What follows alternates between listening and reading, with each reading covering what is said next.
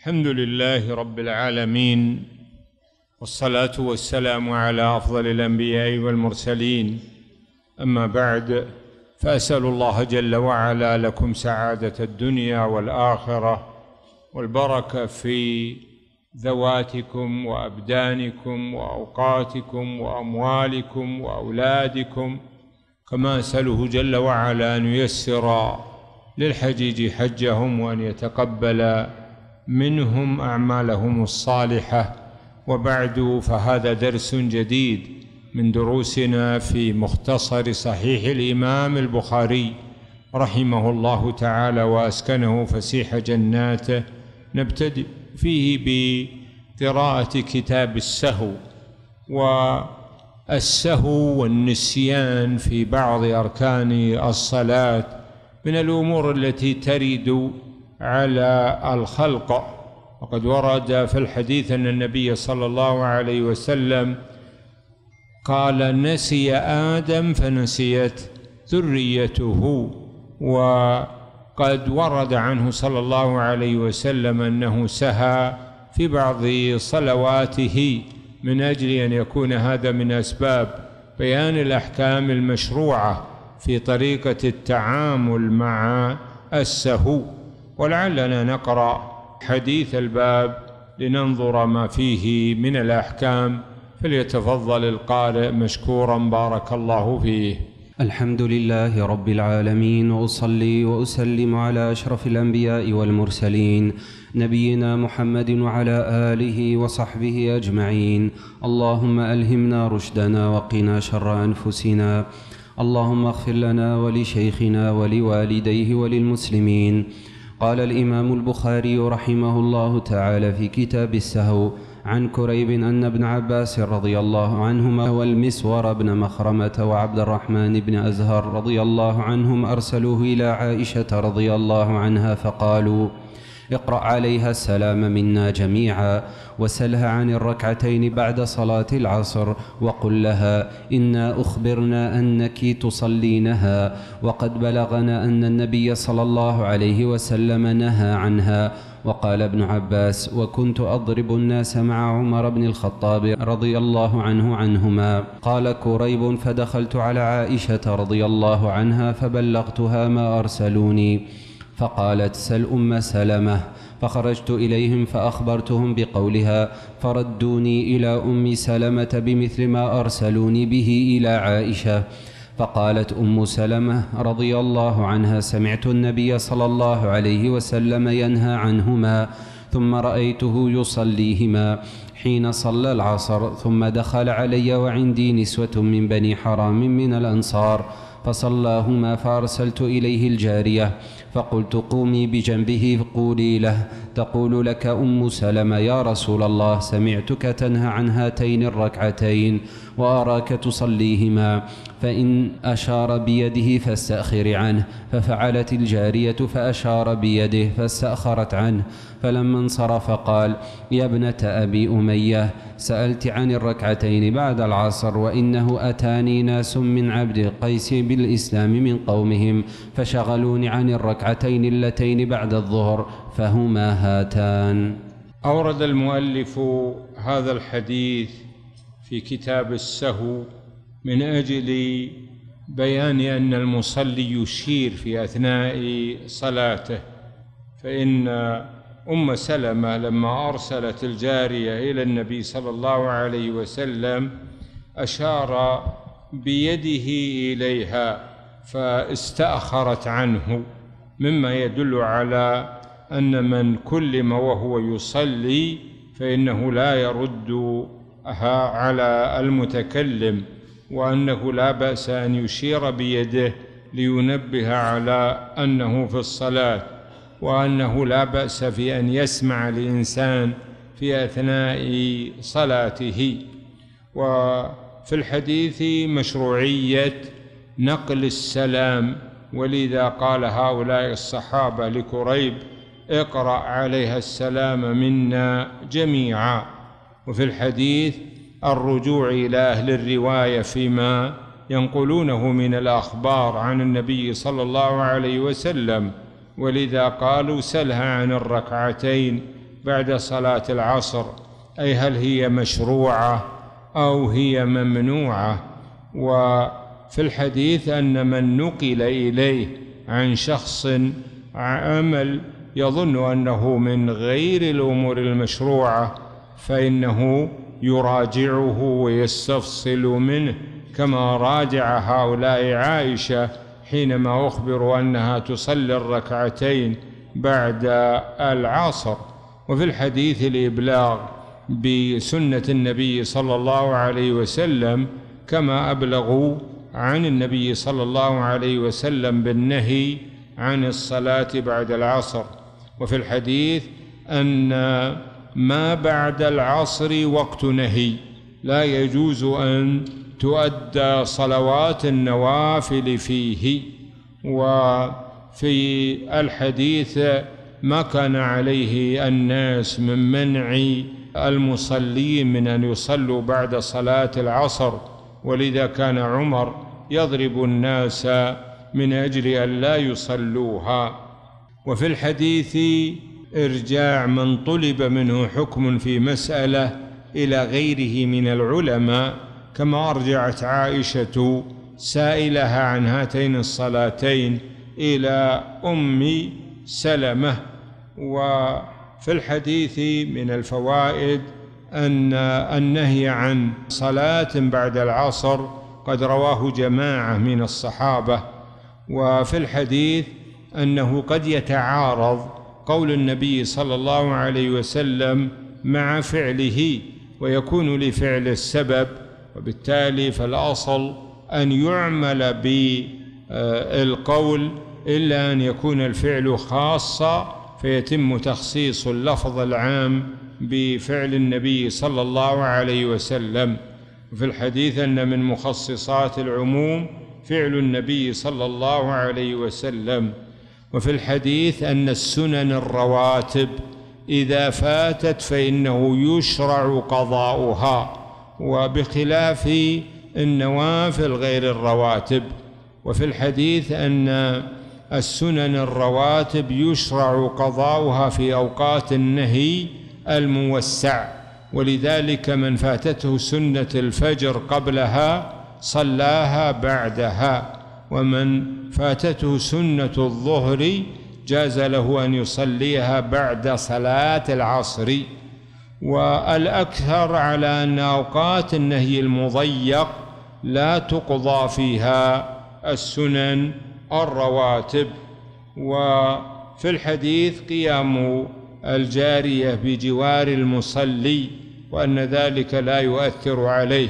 وقد قال فقهاء الحنفية بأنه إذا وقفت امرأة بجوار رجل في الصلاة بطلت صلاة الرجل والجمهور يخالفونهم في هذا وهم قد استدلوا على خبر فيه أخرهن من حيث أخرهن الله وهذا لا يثبت مرفوعا وإنما هو من قول ابن مسعود رضي الله عنه ولا يقتضي ذلك بطلان صلاة الرجل ولا صلاة المرأة عند مصافتها له.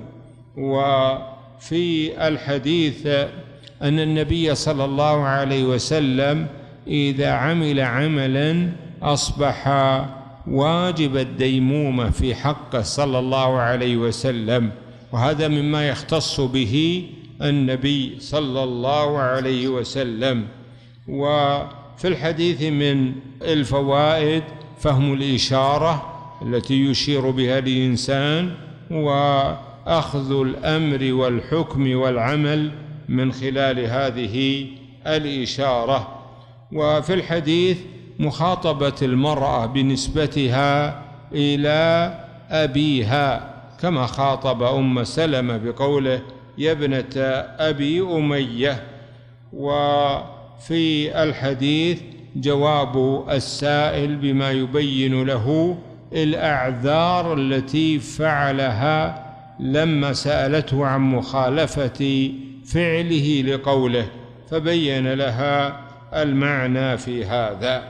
وفي الحديث أن من كان عنده شغل في أوقات السنن الرواتب أدى شغله وقضاه. ليتمكن من فعل السنن الرواتب بعد ذلك. وفي الحديث فضل قبيلة عبد القيس وقدومهم بالإسلام في أوائل الإسلام بعد هجرة النبي صلى الله عليه وسلم. أحسن الله إليكم. قال رحمه الله كتاب الجنائز عن الأحنف بن قيس قال جلست إلى ملأ من قريش فجاء رجل خشن الشعر خشن الشعر والثياب والهيئة حتى قام عليهم فسلم ثم قال بشر الكانزين برطف يحمى عليه في نار جهنم ثم يوضع على حلمة ثدي أحدهم حتى يخرج من نغض كتفه ويوضع على نغض كتفه حتى يخرج من حلمة ثديه يتزلزل. ثم ولى فجلس إلى سارية وتبعته وجلست إليه وأنا لا أدري من هو فقلت له لا أرى القوم إلا قد كرهوا الذي قلت قال إنهم لا يعقلون شيئا خرجت ليلة من الليالي فإذا رسول الله صلى الله عليه وآله وسلم يمشي وحده وليس معه إنسان. قال فظننت أنه يكره أن يمشي معه أحد. قال فجعلت أمشي في ظل القمر فالتفت فرآني فقال من هذا؟ قلت أبو ذر جعلني الله فداك. قال يا أبا ذر تعال. فمشيت معه ساعة فكنت أمشي مع النبي صلى الله عليه وآله وسلم في حرة المدينة عشاء فاستقبلنا أحد فقال لي خليلي لما أبصر أحدا. قلت من خليلك؟ قال النبي صلى الله عليه وسلم يا أبا ذر أتبصر أحدا؟ قال فنظرت إلى الشمس ما بقي من النهار وأنا أرى أن رسول الله صلى الله عليه وآله وسلم يرسلني في حاجة له. فقلت نعم. قال يا أبا ذر ما أحب أن لي مثل أحد ذهب أنفقه كله إلا ثلاثة دنانير. ما أحب أنه تحول لي ذهبا يمكث عندي منه دينار فوق ثلاث إلا دينارا أرصده لدين إلا أن أقول به في عباد الله هكذا وهكذا وأرانا بيده. ثم قال يا أبا ذر قلت لبيك وسعديك يا رسول الله. قال إن الأكثرين هم الأقلون إلا من أعطاه الله خيرا فنفح فيه يمينه وشماله وبين يديه ووراءه. وعمل فيه خيرا إلا من قال بالمال هكذا وهكذا وأشار الراوي بين يديه وعن يمينه وعن شماله وقليل ما هم. وإن هؤلاء لا يعقلون إنما يجمعون الدنيا. لا والله لا أسألهم دنيا ولا أستفتيهم عن دين حتى ألقى الله. وروى غير الأحنف عن أبي ذر رضي الله عنه قال أتيت النبي صلى الله عليه وسلم وعليه ثوب أبيض وهو نائم ثم أتيته وقد استيقظ ومشيت معه ساعة وقال مكانك اجلس ها هنا لا تبرح يا أبا ذر حتى أرجع.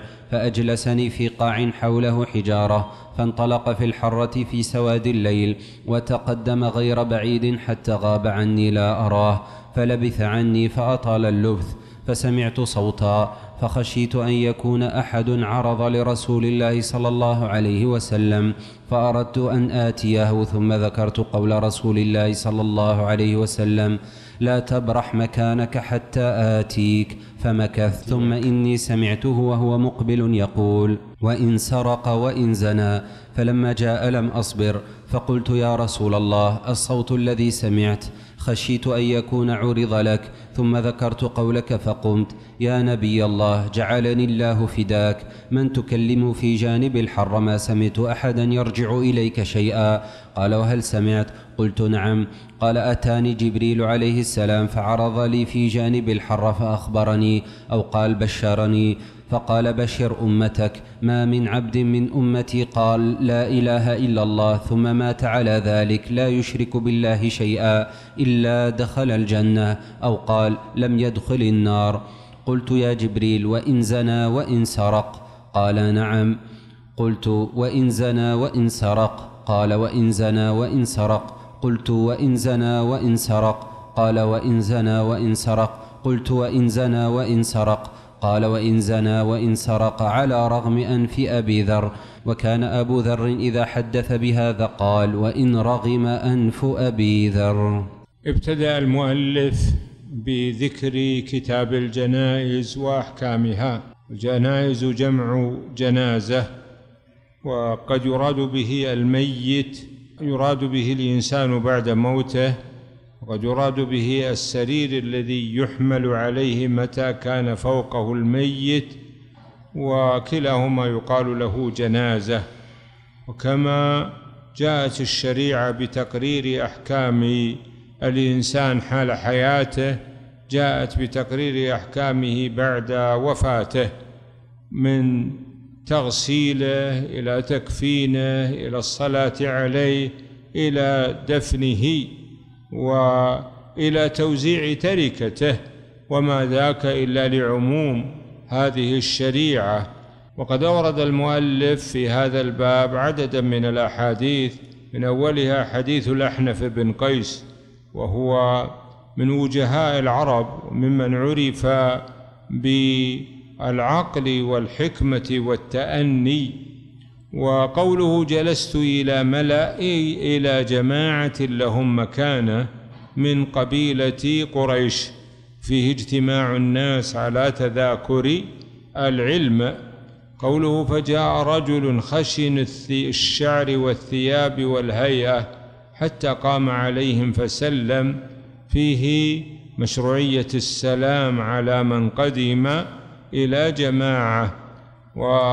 وقوله بشر الكانزين برضف يحمى عليه في نار جهنم.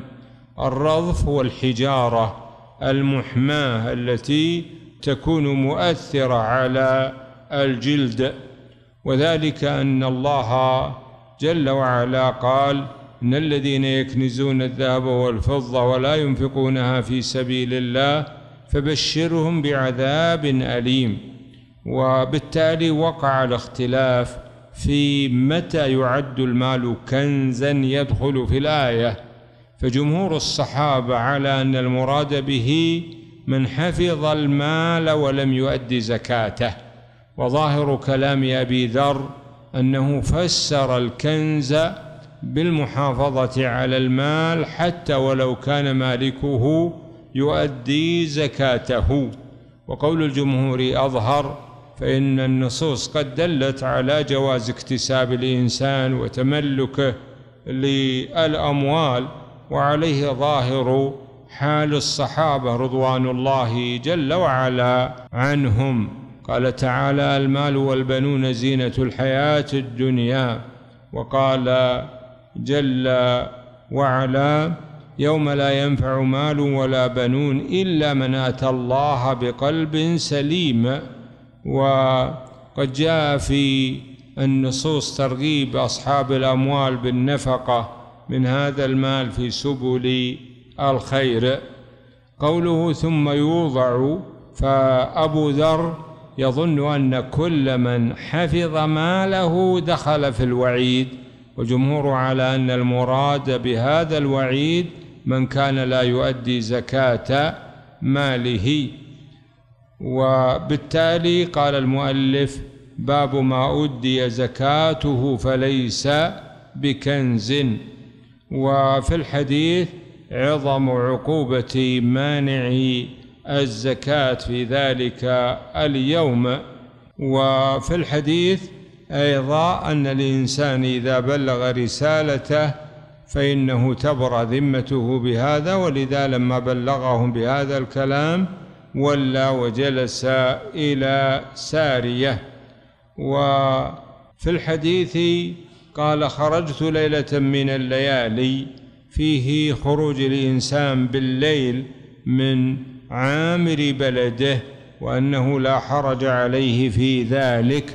وفيه أيضا أن ذهاب الإنسان وحده جائز وليس بممنوع منه. مع أن النبي صلى الله عليه وسلم قال الراكب شيطان والراكبان شيطانان والثلاثة ركب.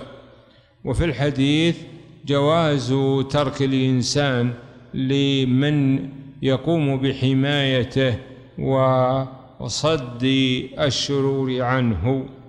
وفي الحديث أيضا الاستنارة بضوء القمر وفي الحديث سؤال الآخرين عن أسمائهم بقوله من هذا وأن هذا لا يعد من التكبر.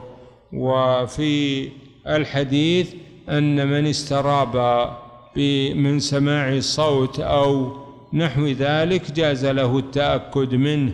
وتيقن حقيقة الحال منه. وفي الحديث دعاء الإنسان لمن خاطبه. ولذا قال أبو ذر أبو ذر جعلني الله فداءك. وفي الحديث اختيار الإنسان لمن يرافقه في سيره. وقوله في حرة المدينة الحرة أرض ذات حجارة سوداء. وقد كان للمدينة حرار متعددة. يصعب على الناس أن يمشوا فيها. يبدو أنها من آثار ما قد كان من الزلازل فيما مضى. وقوله فاستقبلنا أحد أي كان جبل أحد أمامنا ونحن نمشي. وفي الحديث قول الإنسان للمصطفى صلى الله عليه وسلم خليلي وكان بعض أهل العلم يقول بأنه لا يجوز أن يقال مثل هذا اللفظ لتبرئ النبي صلى الله عليه وسلم من خلة كل أحد. وقال لو كنت متخذا خليلا لاتخذت أبا بكر إنما أنا رسول الله أو إنما أنا خليل الله جل وعلا. وفي الحديث سؤال الإنسان عما يبصره ولذا قال تبصر أحدا؟ وفي الحديث إعمال الإنسان ذهنه وتوقعاته ولذا لما قال له هذه اللفظة توقع أنه سيرسله في حاجة. وفي الحديث استحباب النفقة مما يصل إلى الإنسان من الأموال. وفعل النبي صلى الله عليه وسلم وتمنيه يدل على الاستحباب ولا يدل على الوجوب. وفي الحديث أداء الإنسان للديون الواجبة عليه وحفظ الإنسان لبعض الأموال من أجل سداد هذه الديون والغالب في لفظة الديون أن يراد بها ثمن سلع مؤجل. وفي الحديث استحباب تفريق ما يملكه الإنسان من المال ثقة في الله جل وعلا ورغبة في وصول الخير للخلق. وفي الحديث إجابة الإنسان غيره بقول لبيك وسعديك فلبيك ليست خاصة بالله جل وعلا كما يقول بعضهم بل يجوز للإنسان أن يخاطب بها غيره خصوصا ممن له فضل عليه. وفي الحديث أن الإنسان ينبغي به أن لا يكثر من المال لئلا يطغيه ويلهيه عن ذكر الله جل وعلا. وفي الحديث الترغيب في النفقة في سبل الخير والهدى وأن ذلك من فضائل الأعمال. وفي الحديث أن تقديم الدنيا على الآخرة من نقصان العقل. وفي الحديث إيمان الإنسان بوعد الله جل وعلا فحينما وعد أهل الإيمان بالخلف الجميل فإن من شأن أهل الإيمان أن يصدقوا وعد الله جل وعلا. وامتناع أبي ذر عن سؤال أهل الزمان لأنه رآهم اشتغلوا بالدنيا فظن أن الدنيا شغلتهم عن فهم العلم ونقل الحديث عن النبي صلى الله عليه وسلم. وفي الحديث جواز لبس الثوب الأبيض وأنه لا حرج في أن يلبس الناس الثياب البيض وفي الحديث دخول الإنسان على غيره في وقت منامه. وفي الحديث جواز أن يطلب الإنسان من صحبته البقاء في مكان لكونه يظن أنه يعود سريعا. وفي الحديث اختيار المكان الأنسب لبقاء الإنسان واختياره. أحسن المواطن من أجل أن يمكث ويلبث فيه. وفي الحديث ذهاب الإنسان وحده في الليل وأنه لا يعد من الأمور المحرمة. وفي الحديث أيضا أن من سمع صوتا حسن به أن يسأل عن أسبابه خصوصا إذا كان في ليل لأن يخشى على نفسه منه. وفي الحديث تخوف الإنسان على من حوله من أهل الفضل والخير أو من الأموال العامة. ولذا قال أبو ذر فخشيت أن يكون قد عرض لرسول الله صلى الله عليه وسلم أحد. وفي الحديث أيضا أن من جاءه أمر لفظي وجب عليه البقاء في مكانه ولا ينتقل عنه إلا لسبب شرعي. وقوله لا تبرح مكانك حتى آتيك فيه التزام الإنسان بما يصدر عن صاحب الولاية. وفي الحديث أيضا سؤال الإنسان عما يعرض له من الوقائع التي تقع على الناس في زمانه. ولذا سأل أبو ذر عن هذا الصوت الذي سمعه. وفي الحديث تقديم النصوص على الاجتهادات والأقيسة. ولذا قدم أبو ذر الالتزام بالأمر اللفظي على القرائن الدالة على اقتضائها وتعلقها بأبي ذر. وفي الحديث إتيان جبريل للنبي صلى الله عليه وسلم بالوحي حتى في مواطن الحرة. وفي الحديث ذكر الملائكة وذكر كلام الله جل وعلا مع جبريل. وفيه أيضا مشروعية البشارة بالخير مما ينتظر قدومه على الآخرين. وفي الحديث استحباب السعي فيما يصلح أحوال أمة محمد صلى الله عليه وسلم. في الحديث التحذير من الشرك وبيان بطلان الشرك على صاحبه. وفي الحديث أن المشركين لا يدخلون الجنة بل يدخلون النار. وفي الحديث أن أصحاب الكبائر مرجعهم ومآلهم إلى جنان الخلد فيعذبون قليلا في النار ثم يكون مصيرهم إلى الجنان ما لم يعفو الله جل وعلا ويتجاوز عنهم. وفي الحديث تكرار السؤال عن المسألة التي يظن الإنسان أنه لم يستوعبها أو بقي في تردد في نسبتها. في الحديث تكرار السؤال وتكرار الجواب. ولذا قال وإن زنى وإن سرق. وفي الحديث أن الدين ليس بالأهواء ولا التوقعات وإنما هو بحسب ما يرد في الشرع. وفي الحديث أن من رام رد شيئا من السنة فإنه يرغم أنفه ولا يوضع له منزلة ولا مكانة.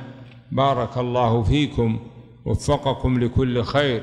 جعلني الله وإياكم من الهداة المهتدين. أصلح الله أحوالنا جميعا.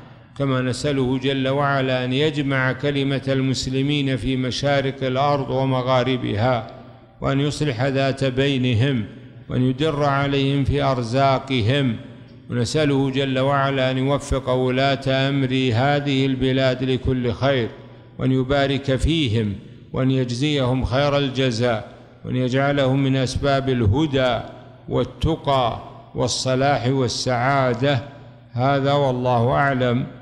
صلى الله على نبينا محمد وعلى آله وصحبه أجمعين.